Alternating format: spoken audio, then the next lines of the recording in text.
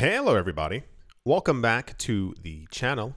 And without further ado, let's jump right into it. Over $100 million worth of the second largest digital currency by market cap, Ethereum. $100 million worth of Ethereum have been burned since the cryptocurrency's network transitioned from a proof of work consensus algorithm into a proof of stake consensus algorithm. The cryptocurrency's deflationary trend has been growing over time, with its supply dropping by 64,457 ETH since the network's merge upgraded over wow over 180 days ago. It doesn't. I, I actually have no idea how long that it feels. It just doesn't feel like 180 days. to the point that there are now 120,456 ethers circulating on the market. Wait, that can't be real. That can't be the actual number. I think they may be missing some digits there because if there were only if there were only 120,000 ether left on the market, we'd have like a, a $48,000 ether. So they're, they're, they're missing some digits there.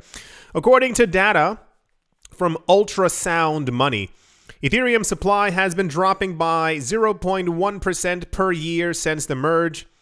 I think it's even more than that. Uh, while without it, it would have been rising at 3.4% per year. So Ethereum originally did not ever have halvings like Bitcoin did. So, you know, Bitcoin's uh, reward is 100 Bitcoin, then it's 50, then it's 25, then it's 12.5, then it's blah, blah, blah, blah, blah. You kind of get the idea. I think from the get go, Ethereum had, I think the original issuance rate, I think, was 25 coins per block. I think that's what it was.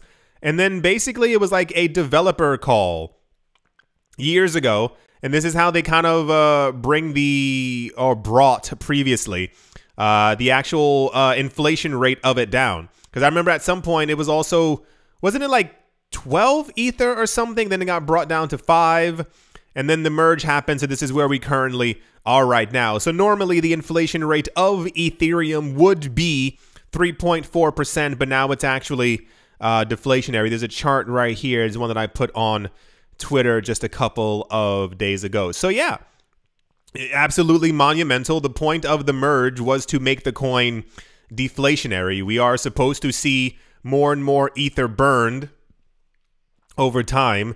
Uh, the significance being is that this is happening while prices are low. So the idea is when we begin to eventually see sometime in the future a 10x on network activity and more ether is being burned, the more that's happening on the network, the more ether gets burned, the more ether gets burned. The idea would be that Ethereum's price would also rise as well as there's less of it on the market and also people locking up their ether to be able to uh, stake it and also get the staking rewards and burn extra coins and you kind of get the idea. So yeah, cool.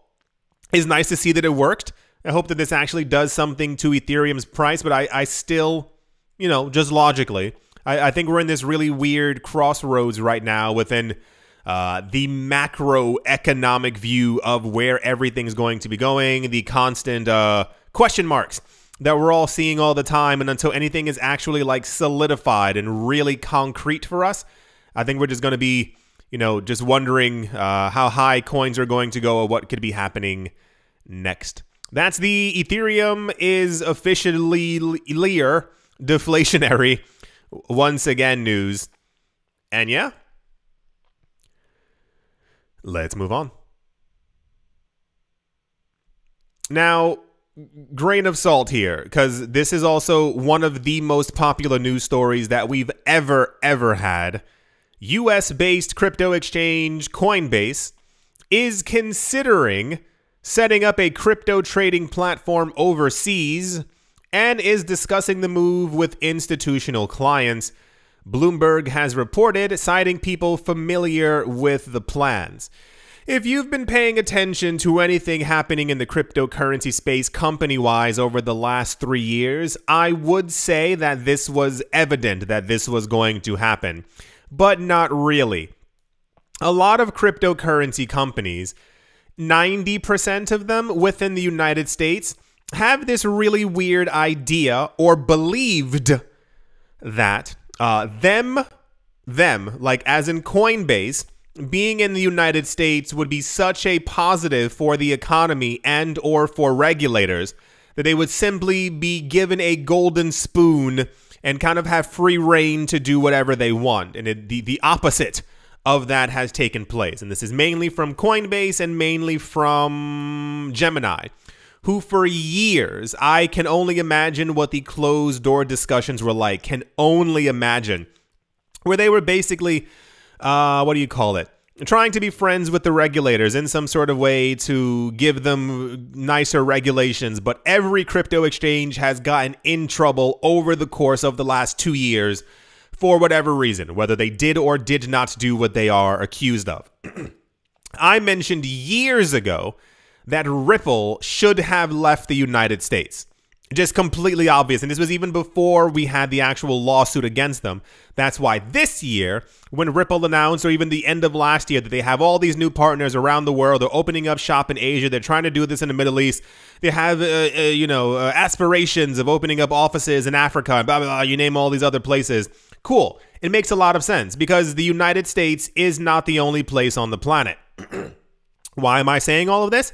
Because Coinbase has desperately along with many other companies, uh, been trying to gain favor from regulators who don't like them, from banks who don't like them, from institutions who would rather that we not exist. They don't want crypto to be a thing because it ruins the idea of what the US dollar is or how strong the US dollar is or, or that people should only be using the US banking system as opposed to circumventing it and also using Coinbase or Kraken or Gemini and giving them the fees that would normally be going to the banks. So, on top of all of this news that these companies have finally realized, finally, after 9,000 years, uh, that the government doesn't care about them. This is why this news was released. Apparently, people behind the scenes who are familiar, wink, with what's going on are reporting that Coinbase is, and I saw a lot of websites announcing that Coinbase was leaving the states. They they would they would never and I have so much more that I would like to say on that, but I will not. They would never, regardless of how their how ridiculous their relationship is with everything. They would never. However, this is why I mentioned before. I was like, "Hey, it's kind of cool that Ripple has like 20 new partnerships in Mexico and in Thailand and in the Philippines and in Japan and all these other places." I was like, "Why why aren't Coinbase and Gemini and other crypto exchanges doing the exact same thing. Why are they constantly so focused? Like how much more money they would have made? How much any like regulatory issues with the SEC would have been like okay well that sucks. Well good thing we have 19 other offices around the world who actually all these other countries have already given cryptocurrency regulations. They know what the, we we we know you can find online. We know what the regulations are in every other country but anyway it says a decision hasn't been taken on the location for such a trading platform because they're probably in talks and trying to figure out exactly where they should go. I assume that they're going to aim for Ireland. If they do Ireland, they're in the EU. With the EU, they're then, you know, allowed to do the other countries within the United States. I assume they're trying to target Asia in some sort of way, but they're figuring out a position that they can actually go to that would be able to land them in one spot and kind of have a blanket over everything else. So I assume they're aiming for the UAE. That's just completely obvious. There's far too much money there for them to ignore it. I would assume for Asia, they're probably aiming for Hong Kong. But Hong Kong is going to have some issues in the next 15 to 20 years as they are subsequently uh, reabsorbed by the North. Uh, where else could they go? Probably, I would say Japan, but that's probably no. I, I think Hong Kong would be an easier choice for them. So it's not that a decision hasn't been taken. They're probably trying to figure out which one is most tax beneficial to them and where they could get the easiest paperwork done to kind of get the ball rolling. It says, which comes as U.S. regulators are cracking down on crypto. It's not so much as of, of a crackdown as much of it like a psychotic obsession that these regulators are having because they, they understand that they're no longer actually needed. That's not me raising my fist in the in the sky and going crypto. It's it's more of a no. It just when you have automation, when you have everything online, the idea of a regulator, the idea of an accountant or someone doing your taxes for you. We have websites, we have AI, we have all these things that do it for us. Why ask what something is when you can go search online to see what it is? This is why every single time that the SEC comes forward saying that they uh, believe that something is a security or this is a security, and people keep looking at the law and they go, that's not.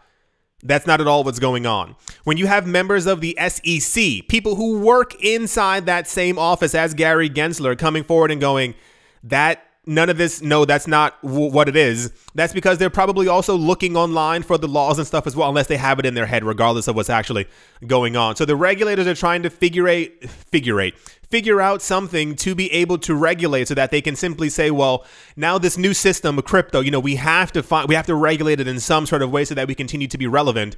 When the blockchain essentially would regulate itself. Regulatory action against the sector intensified after November's collapse of crypto exchange FTX.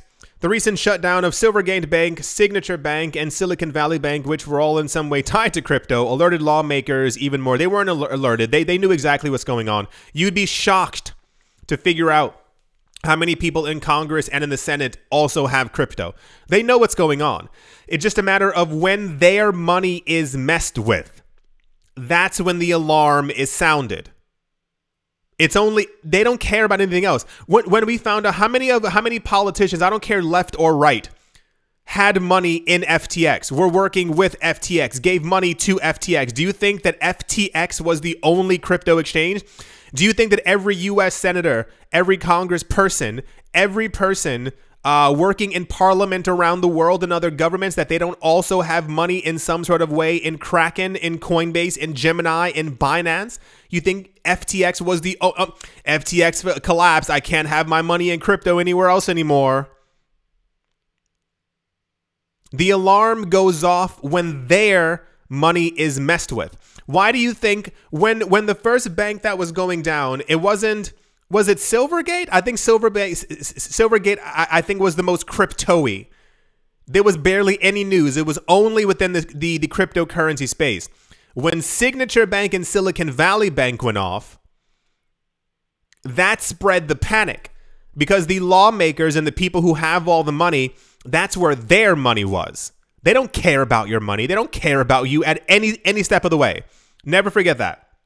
If you remember one thing from this channel, the wealthy and the elite do not care about you or your family at all. I know that sounds harsh, but look at the way that the world is run. It says Coinbase isn't alone.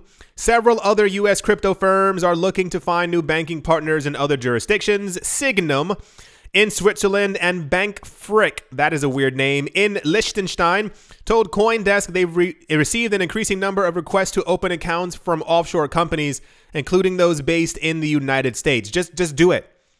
I, you, like everyone was so obsessed in thinking that the U.S. was going to favor them in some sort of way. If you've never seen that video, I want to say 2012, 2013, 2014. Can't give you an exact month, but look up those times when the uh, what is it called the the weird New York law, uh, the BitLicense, the bit license. Look up bit license Winklevoss twins. There's a video of it where the Winklevoss twins are barely like sitting. They're, they're, they're sitting in the front row as the deliberations are going on for a bit license.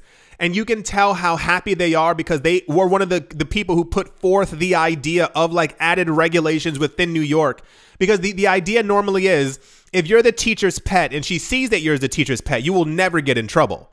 So why would there ever, you know, you make sure that you are constantly groveling at their feet so that they know you're always there with them until they turn on you and then this ends up happening. Very popular news. Coinbase, it says, is Coinbase moving abroad? Firm begins talks to launch platform overseas. Good job you you finally got there after six months of being stepped on. How do you, how does it feel? Do, do, do you feel more like a person now? Do you have more self respect?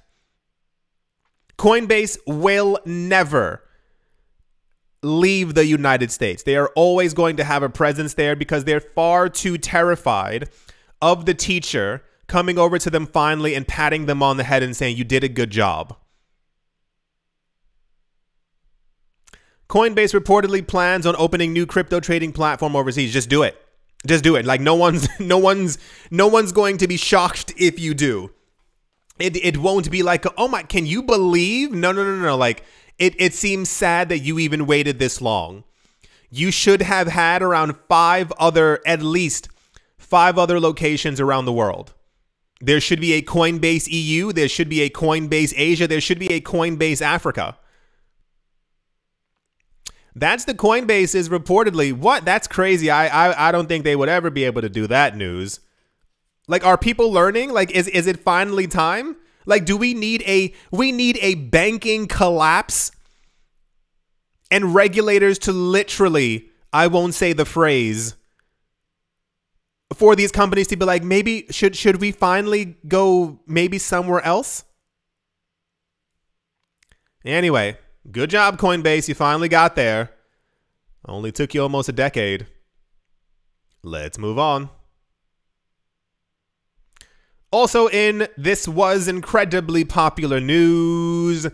The FDIC, the Federal Deposit Insurance Corporation, has denied reports that prospective buyers of Signature Bank would have to stop doing business with crypto. This rumor spread like wildfire rapidly.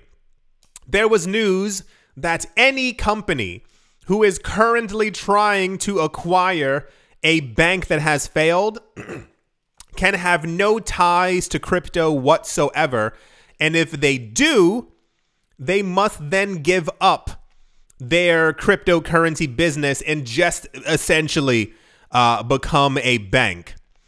The FDIC responded to a Reuters report citing two anonymous sources who claimed that the buyers of Signature Bank would have to agree to give up all crypto businesses at the bank.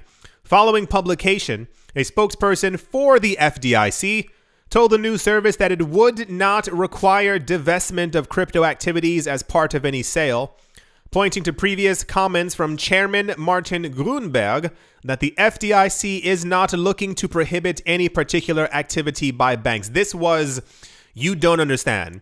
People lost their minds when this news came out. And I find it even, we live in a time where there's very little due diligence by individuals who work for news corporations who have university degrees. I feel like putting out, like from Reuters, putting out news like that, you would assume that whoever posted that would have like checked, then checked, then re re rechecked their sources before releasing news and or information like that. But I think we live in a time period where you've seen it. A lot of these news networks, they want you to pay like $5 a month, $129 per year. And it's like, no, I'll get my news from somewhere else. So I guess in a world uh, where on these websites news is essentially free, this is just what's going on. It says buyers of Signature Bank told to give up crypto business by FDIC. People lost their minds. Uh, as it turns out, this apparently is not true, but I do understand why people would have believed this in the first place. Because it sounds like something that the FDIC or the Fed or a government would have told a company to do, especially as we see larger institutions and more banks continuing their foray into the cryptocurrency space. So, yeah, this apparently was false. Good job, Reuters. Between Reuters and the Wall Street Journal, you know, I think just you know a, a, a, rotten cherry on top of the of of the old dirty cake as far as like them just kind of like the Wall Street Journal has become quite uh popular recently for just releasing like nonsensical news about the cryptocurrency space. Tether's fake, Binance is fake, this crypto and it's like where where are you guys getting your Oh, you have no sources? Oh, well, that makes a lot of sense. That's the buyers of uh, banks in the US apparently will not have to give up their cryptocurrency businesses. News. And yeah, let's move on. Also in the news, Thailand's government has said that companies that issue that issue or create digital tokens will receive a waiver that exempts them from paying corporate tax and VAT known as value added tax. According to a report, the Thai government anticipates losing just over $1 billion in tax revenue as a result of the waiver. No, no, no, no, whoa, whoa, whoa, whoa, no, no, no. That's not how that's not how that ever works. If you ever hear a bank or a government or a company or a corporation announce that they're doing something, launching something, creating something, allowing something to happen, and then they make a sad face and go, "Yeah, but we're going to lose over a billion dollars from it." No, no, no, no, no, no, no.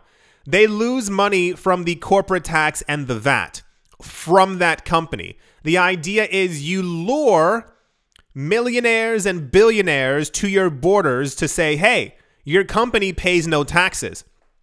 But they know that these people with this money will spend the extra money that they saved in the country. That's what happens in, in other places like Dubai that have a, a 0% income tax rate.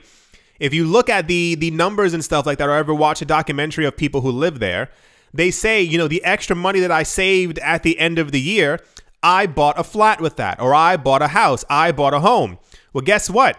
the taxes on that, the monthly taxes and the yearly taxes and the and the uh, property taxes and the the water, the tax bill and all these other things, a portion of that then goes to the government. That's how they make up wink that 1 billion dollars in wink losses. There will be no losses. They would not be doing something like this. It's an effort to try and get as much money to come to their uh, land essentially as possible. This is how it always ends up working. Or in other really rich, wealthy countries, when they have a 0% tax, you'll notice that the VAT or the like actual tax on certain items is usually so like you know on an apple or a bottle of water uh, will be 12 to 19 percent that's how they make the extra taxes back thailand based companies that issue digital tokens for investments are set to receive a corporate and value added tax waiver the Thai government reportedly said, as a result of the waiver, the Thai government, which is projecting investment token offerings worth $3.71 billion over the next two years, said it expects to lose more than $1 billion in tax revenue. So, this is just a continuation of all the uh, places around the world who are trying to figure out how to get people to put money into their countries and their companies because they realized that a couple of years ago, all the nonsense that they were saying and telling people that no one should be getting into crypto. Now they're desperate for the people to get into crypto. Why? Because you have companies like Fidelity and BlackRock actively getting into the cryptocurrency space. So they know that the big money's there. They know what's happening behind the scenes. They know that people are, especially in their governments, are pushing tons of money into crypto. But all those things that they told everyone, not Thailand in particular, it's more of a, a global thing.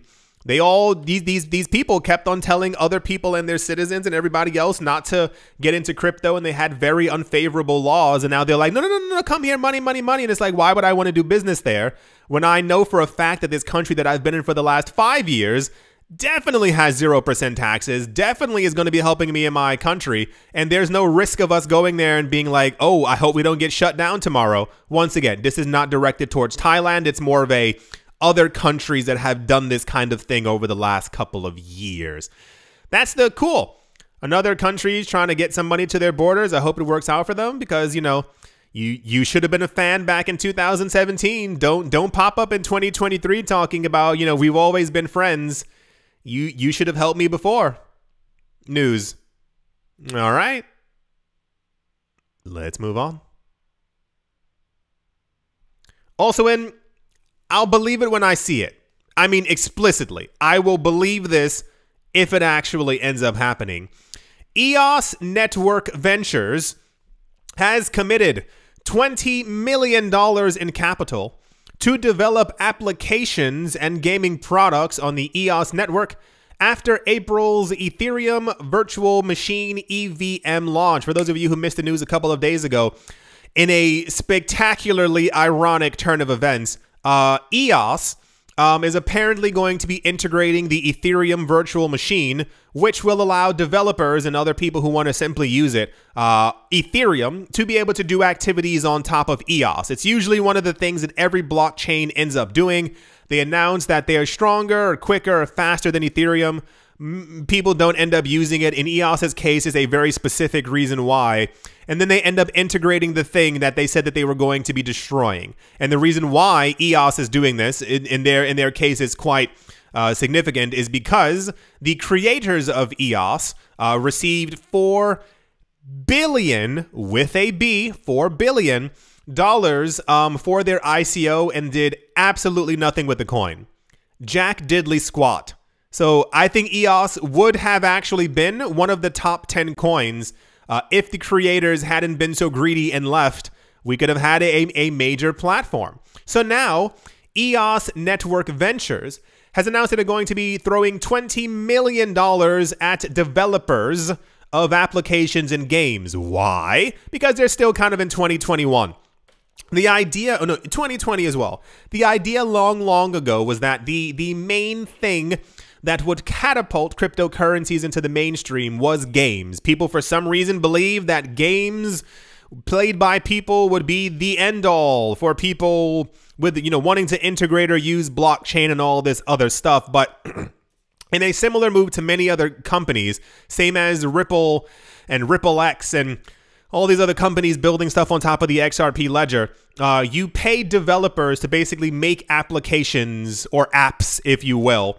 Uh, and eventually, at some point, one of them will stick. So a lot of people think like when you hear sometimes that you know there's like a it is a billion dollar app or this app is worth 800 million dollars people tend to think that it's, it's the same exact thing with success people think that success happens overnight. They don't realize it is a it is one of the, it, it's it's terrible. It takes like seven eight years to finally get where you want to be, and then things are actually you know really good. It's the same exact thing with building apps. A company will sometimes put out 50, 60, 70 apps over the course of a year. None of them stick. Over the course of making 200 apps, one of them finally makes it. The company ends up making it into the news, and everyone goes, "Wow, look at wow!" You know, I wish I could do the same. It takes a long time to to rise up in the pyramid of life, if you will.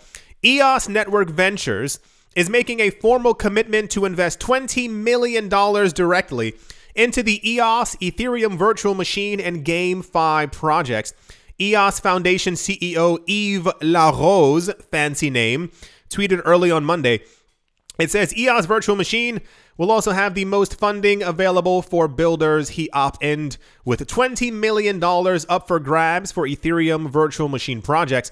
We expect an influx of massive, oh, wait, massive influx, there we go, of developers who want to take advantage of the funding opportunities, adding the commitment was made to attract developers and builders to the EOS blockchain in the coming months. I hope it works out. I sincerely do. I, I, I think Yves La Rose is now the new uh, head of EOS, if you will. He's a name that keeps popping up over and over again. I think the original developers have been more or less shunned from what I can tell. I think they had a couple, a large chunk of money, and I think the community of the EOS community actually voted to lock up their money and, you know, consensus, what have you, you know, voting rights and all that other stuff. So um, it would be great if EOS actually uh, did something because you know uh, four billion dollars is a lot, but uh, this seems like a you know a, a last chance ploy effort. I still think EOS can do extremely well, especially with listen, EOS to date uh, has not broken down like Solana or many other chains over the course of the last couple of years. It is clearly still usable. It's just a matter of you need a couple thousand apps. I assume the 2.0 to this is going to be when we get an announcement that they're making an NFT platform or you can mint NFTs on there. What's the other one? You can already have ICOs and STOs, and then you have the Ethereum virtual machine.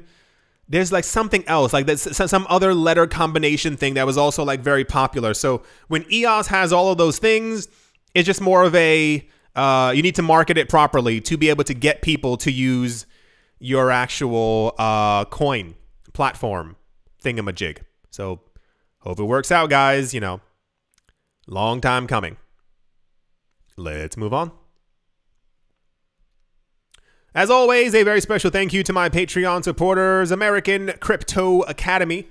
Martin Steuer, Bodie McBoatface, Sam Ratter, Dotha Diddy, Manny Cryptos, Crypto Gambino, Auspicious Agile and Blockchain, Jamie Saad, and let's move on. Empire Queen, Roman Gaba, Bitcoin Ben. I don't know. I have to have Bitcoin Ben written in all caps on my phone, and I don't know why. Arachno Dave, The Dealers Den, Captain Something in the Z-Way, Lay, Mo Barazi, VB Nerd 21, Lauren De Silva, Quoted Biddy, Troy Allgood, Space Case, Need a Miracle, Paternoster, Navarro Williams, Utopia 569, Moonman High, XRP, Nostromo, John Sarson, The Animal Reader, Bibliophobia, Adam Graysick, Wise Night Owl, 242 to the World, Bankroll Network, Crypto Artist, Cold Coldy 3D, Setsuna, Paxis, Jim Gardner, Jeremy Fox, Minting Coins, Yes to Crypto, Anytime Fitness, Monks Corner Staff, Bake Me a Cake, Tigara, Machonisa, and on Crypto with Lionel. Thank you all very, very much for your continued support. Thank you to everyone who is a member of the channel. Thank you to everyone who left a like, a comment, or has subscribed. Thank you all once again for watching, listening, liking, commenting, and or supporting, and I will most certainly be talking to you all soon. See you.